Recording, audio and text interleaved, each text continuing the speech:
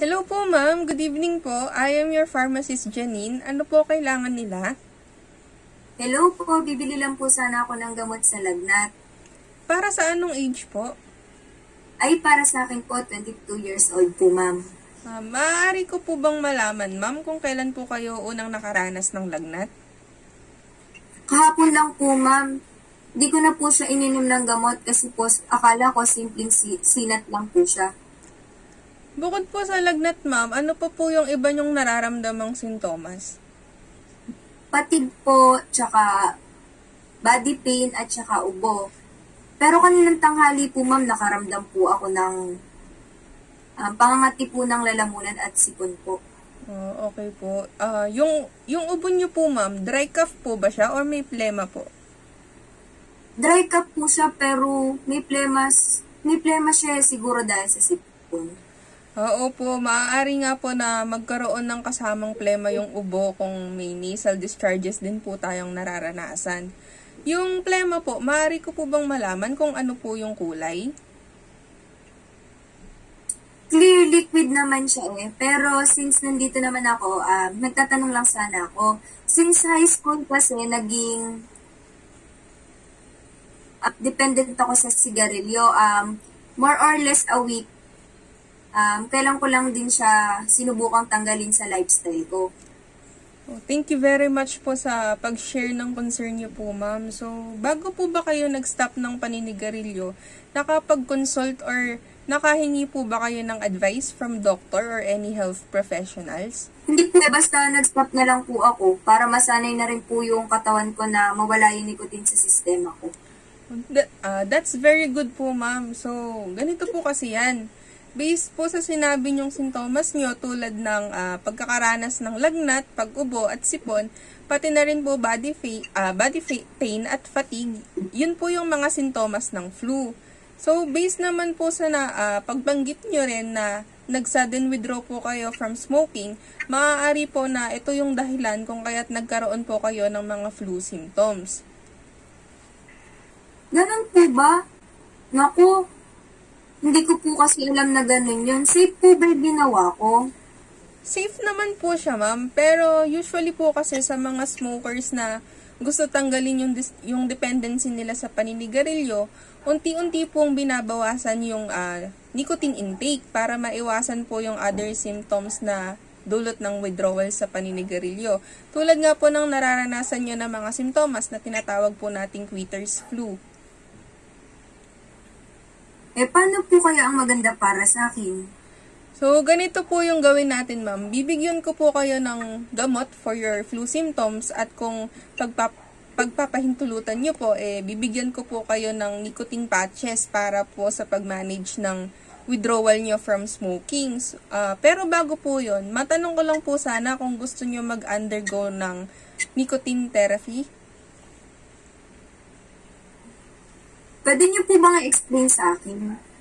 Uh, very very much willing po, ma'am. So, ang nicotine replacement therapy po ay yung uh, ito po yung intervention na ini-introduce po sa mga gustong mag-quit ng paninigarilyo. So, dahil po kasi sa matagal or nakasanayan na ng katawan natin yung intake ng nicotine dahil sa madalas na paninigarilyo, nakaka-develop po tayo ng nicotine dependency na kung saan yung sistema natin eh na, nawiwili na po sa epekto ng nicotine kung kaya't hinahanap-hanap po natin siya.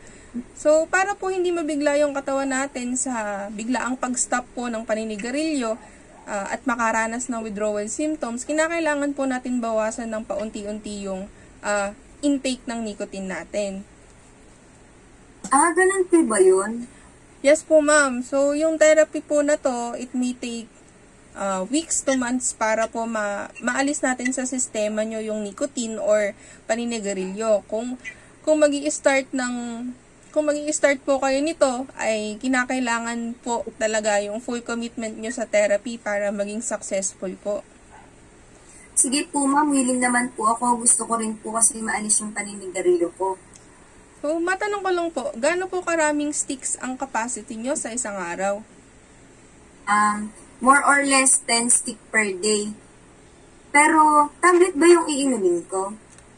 meron din naman po tayong uh, nicotine candies and lozenges po na assistive treatment sa nicotine replacement therapy. Pero yung uh, main po na ibibigay ko po sa inyo is yung nicotine patches po. So, based po sa kap capacity nyo, light smoker lang po kayo, so po pwede pong lower dose po yung ibigay sa inyo.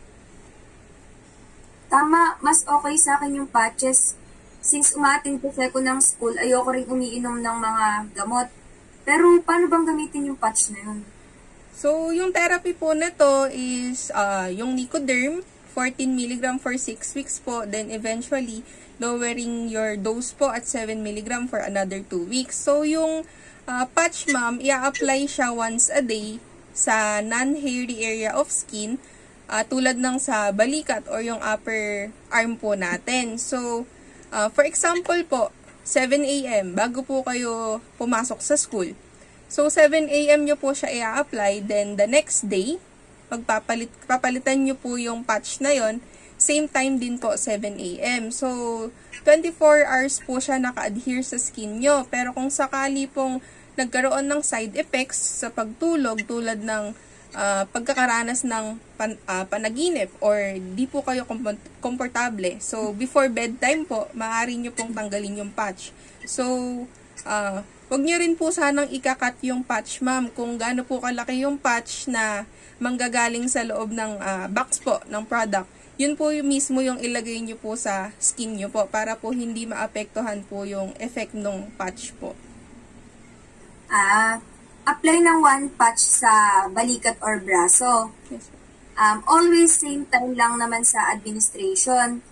Kapag nakaranas ako ng ng panaginip or hindi maganda yung pagkatulog ko, aalisin ko siya bago matulog. Tama po ba? Yes po, ma'am. Ah, talagang bawal yung paninigarilyo while under therapy, ano? Yes po, bawal po para po maging successful yung therapy, yung therapy nyo. So, sakali pong nag-crave kayo, pwede naman pong mag-smoke. But never discontinue your therapy, ma'am. As much as possible, uh, try quitting kasi yun naman talaga yung goal ng therapy. Ah, okay, sige po. Aside pa, aside po sa replacement therapy ko, ano po ba yung mga iinumin kong gamot for my flu? So, para po sa lagnat, paracetamol 500 mg every 4 hours when necessary po. Then, acetylcysteine, effervescent tablet, 300 mg twice a day. Bali po, uh, ito lulusawin nyo yung tablet in 1 glass of water. Uh, one tablet in 1 glass of water po. At saka iinumin na parang juice and Decolgen 1 tablet every 6 hours po for your uh, colds. Naku, ang dami pala niyan.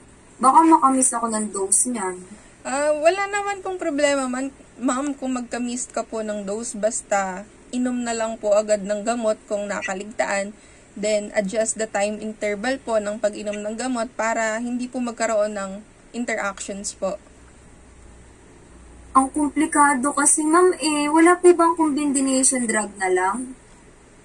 Opo, ma- uh, medyo madami nga pong uh, gamot. Ano po? So, meron naman po ma'am na combination drug ng paracetamol, chlorphenamine maleate, and phenylephrine. Ang brand name po is Bioflu or Neosep. So, para na po yan sa lahat ng simptomas na nararamdaman nyo para po sa lagnat, ubo at sipon, pati na rin sa pananakit ng katawan. So, uh, isang tableta po niya, isang tableta nyo po siya iinumin every 6 hours po. Ah, BioFlu, one tablet every 6 hours. Ilan days po siya iinumin? So, pakimonitor nyo na lang po, ma'am. Ano, po, uh, initially po, for 3 days nyo po siya inumin. Pero kung sakaling wala naman na po yung flu symptoms nyo, uh, bago sa ikatlang araw ng pag-inom, pwede nyo na pong stop yung medication. So, kung yung cough and cold naman po, gumaling na at yung lagnat, meron pang konting lagnat or sinat. So, maaaring paracetamol na lang po yung inumin nyo, ma'am, every 4 hours kung kinakailangan po. Ah, okay po. And sa pag-manage po pala ng flu symptoms nyo, ma'am, try, ding, try drinking hot teas po and yung mga soup para po magpawis po kayo at bumaba yung body temperature.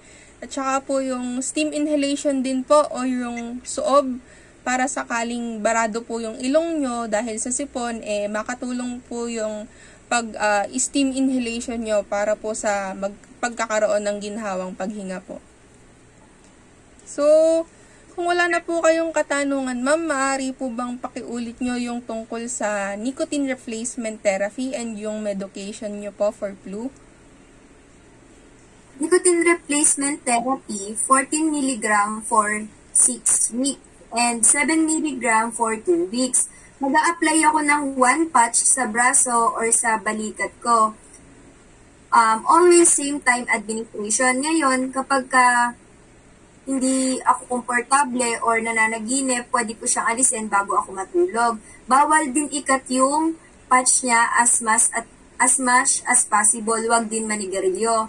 Then yung BioFlu, iinumin ko siya every 4 hours for 3 days or when necessary.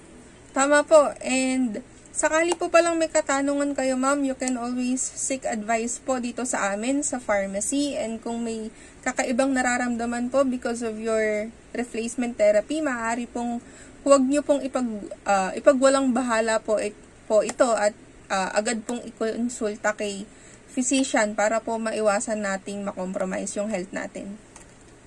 Okay po, ma'am. Noted po. Okay po. So, gaano po pala karaming BioFlu yung kukunin nyo, ma'am? Ah, pakabigyan mo na lang ako ng isang banig ng BioFlu. Tapos, okay. yung nicotine patches ko for 2 weeks. Okay po. Sige po. So, prepare ko lang po.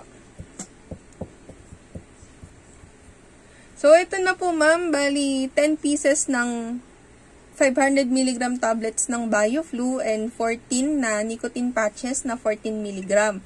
So, total of 650 pesos po lahat. Ito po, ma'am. Okay po.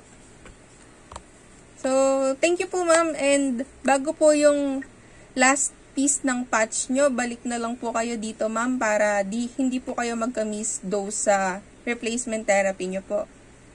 Okay po, ma'am. Salamat po. Thank okay you. po, thank you. Sige po.